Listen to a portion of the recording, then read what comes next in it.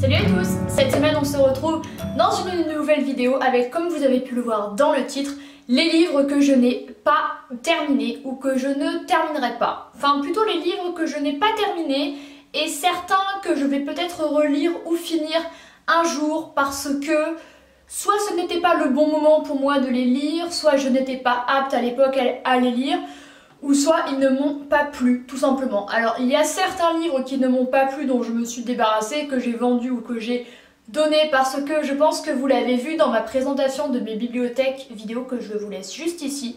Mais j'ai des centaines de livres, je dois avoir plus de 450 livres. Du coup, quand un livre ne me plaît pas, ben je m'en débarrasse parce que comme J'en achète régulièrement, sinon je ne vais plus m'en sortir. Dans deux ans, je vais crouler sous les livres, donc c'est assez ridicule. Donc voilà, mais il faut quand même savoir que de façon générale, c'est très rare que je ne termine pas un, livre. On en parlait euh, récemment sur The French Book Club, qui est un club lecture Facebook que je vous invite à rejoindre, le lien sera dans la barre d'infos. Mais avec les filles, on discutait un peu de ça et on disait qu'on avait un peu tout du mal en fait à ne pas culpabiliser quand on ne termine pas un livre. Et personnellement, je me force un peu toujours à le finir. Mais pour les livres que vous allez voir, il y en a une petite dizaine, et ben je ne me suis pas forcée parce qu'au bout d'un moment, il y a d'autres univers à explorer, d'autres lectures à faire plus intéressantes ou qui nous correspondent plus. Donc c'est quand même un peu euh, débile de d'absolument vouloir finir un livre alors qu'il ne nous plaît pas. Voilà. Alors le premier que je voulais mettre dans cette vidéo et que vous voyez souvent ici, là, bon là on voit pas trop, c'est Un monde sans fin de Ken Follett. Alors, euh, j'avais adoré Les piliers euh, de la Terre, qui est son premier. En fait, c'est une trilogie. Ça, c'est le 2. J'ai également le 3, qui est en bas. Là, on ne le voit pas. Euh, le 1, je l'avais terminé. Le 2, je ne l'ai pas fini. Et le 3, je ne l'ai pas encore lu. Alors, déjà, c'est un peu à cause du format, parce qu'il y a 1400 1340 pages. C'est un des livres les plus énormes que je possède, qui était à ma mère qu'elle m'avait prêté. Mais lui, je ne l'ai pas arrêté à cause de la longueur, parce que j'adore l'univers. Alors, pour vous situer un peu, ça se passe en 1300, euh, c'est les petits-enfants ou les arrière-petits-enfants de, des personnages principaux du tome 1, en fait. Donc, en pleine période du Moyen-Âge en Angleterre, à l'époque des cathédrales, des, du Moyen-Âge, des femmes... Euh, soumise, de la misère, euh, vraiment de la hiérarchie sociale encore plus que maintenant et tout ça. Et en fait j'ai arrêté tout simplement parce que c'était violent, mais violent au niveau violence contre les femmes. Viol plus particulièrement, j'en rigole mais c'est pas drôle du tout. Voilà, je ris jaune. Euh, j'ai dû lire un tiers de ce livre et je me rappelle que même une partie, je l'avais lu sur le bateau euh, de mon beau-père euh, l'été et c'était pas tellement une lecture adaptée à l'été. Voilà, donc euh, je ne pense pas le relire un jour parce que franchement c'est hyper difficile quoi. Voilà, c'était monnaie courante de violer les femmes dans la rue, les femmes ne disaient rien, les hommes c'était normal, encore plus que maintenant. Et en fait ça me fait d'autant plus de mal en fait de lire quelque chose qui se passe en 1300, donc c'était il y a quasiment 700 ans, plus de 700 ans, euh, quasiment 700 ans. Je suis très nulle en maths, désolée. Et de se dire que finalement, eh ben, ça n'a pas vraiment changé. Voilà, ça me rend assez dingue.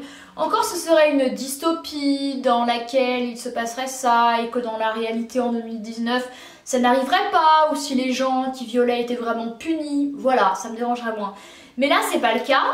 Du coup, euh, bah voilà, trop dur quoi. Voilà, j'étais en pleine scène de viol, je me suis dit euh, c'est bon, j'ai pas, pas envie de dire ça. Je suis déjà euh, dégoûtée de la justice française qui fait absolument rien contre ça, donc euh, c'est bon. Donc voilà, par rapport du coup aux violences, mais pas par rapport à l'histoire qui est très intéressante, on en apprend beaucoup plus sur cette époque.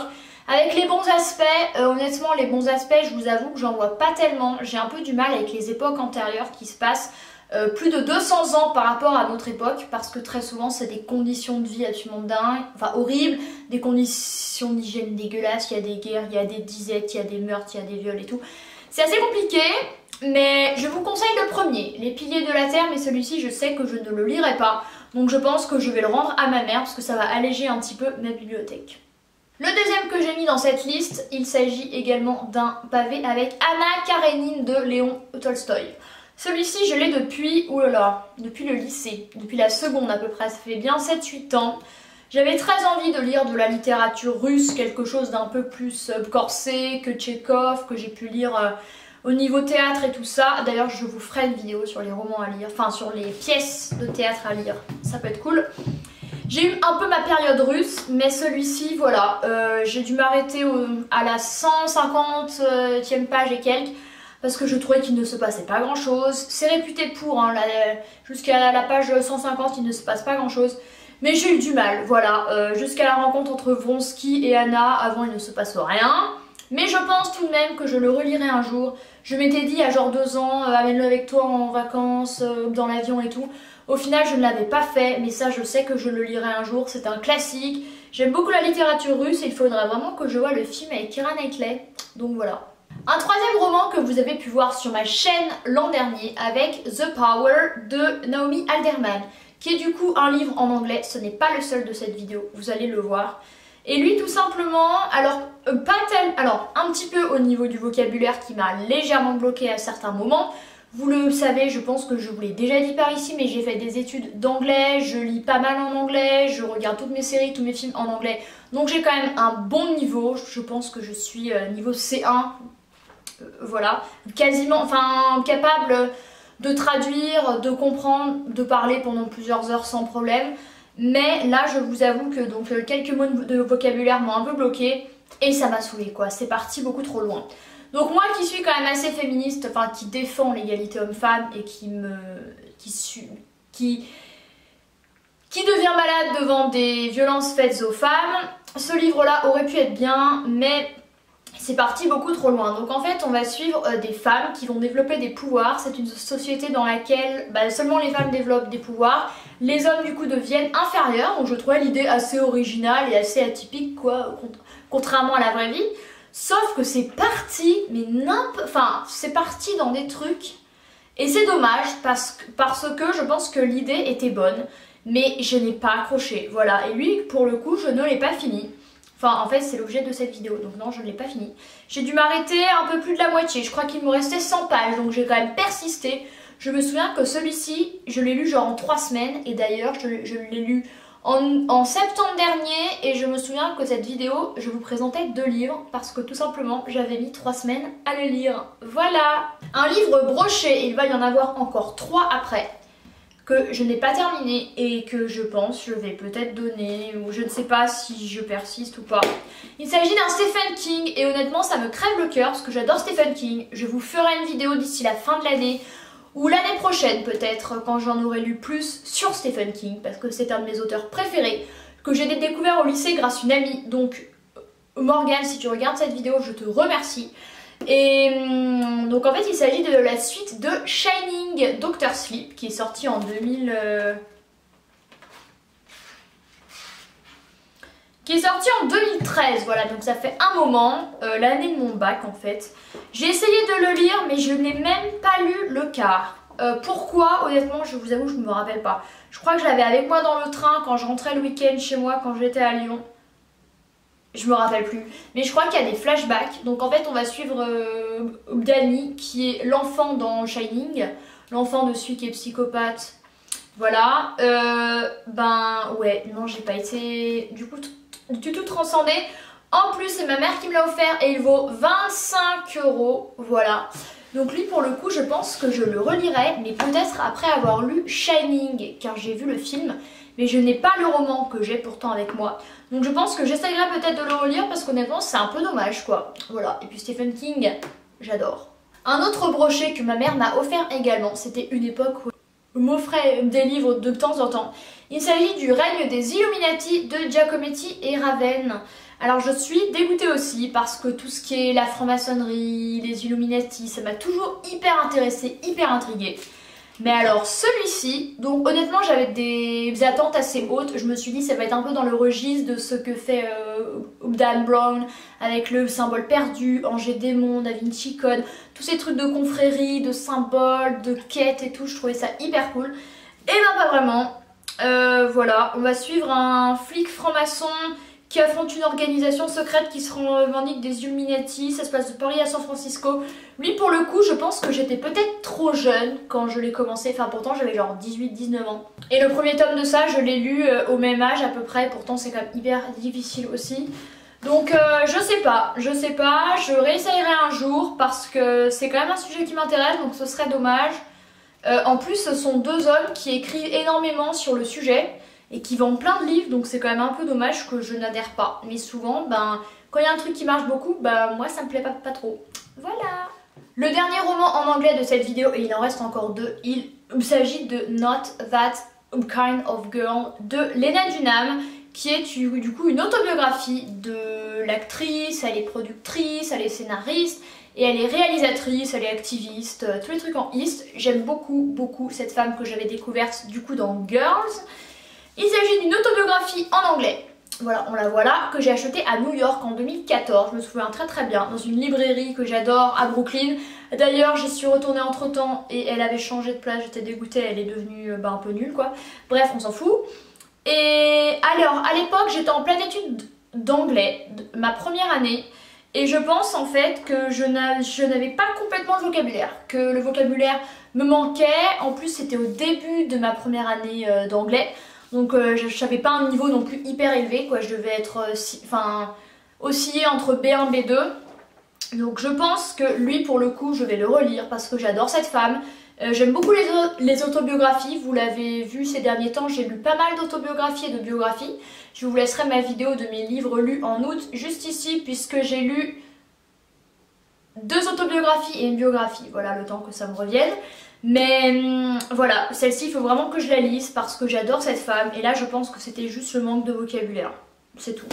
Voilà. Les deux derniers livres, avec cet avant-dernier, Freedom de Jonathan Franzen. Alors, Jonathan Franzen, euh, j'en ai lu un autre de lui. Bah, je sais plus.